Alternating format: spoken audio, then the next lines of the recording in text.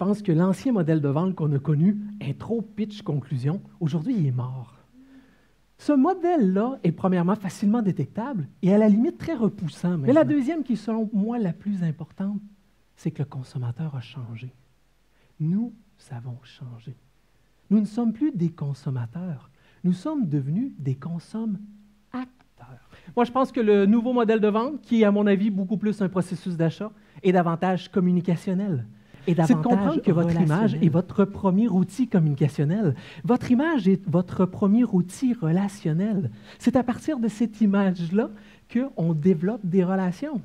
Souvent, notre image parle davantage que ce qu'on veut véritablement dire. Il y a bien des années, on disait pour être un bon vendeur, c'est important de connaître un paquet de monde. Je vous dis non. Pour être un bon vendeur, un bon acheteur, c'est le monde qui vous connaît. En terminant, je vous dis une dernière chose.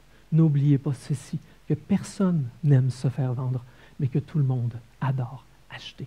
Sur ce, merci et une bonne fin de journée.